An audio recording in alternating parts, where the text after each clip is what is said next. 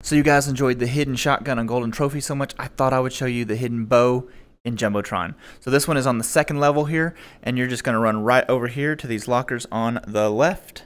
So you're going to skip the first set here, these first three, and it's the fourth one here, and we'll just walk up to it. You'll stick your hand through, and as you can see, there is a bow.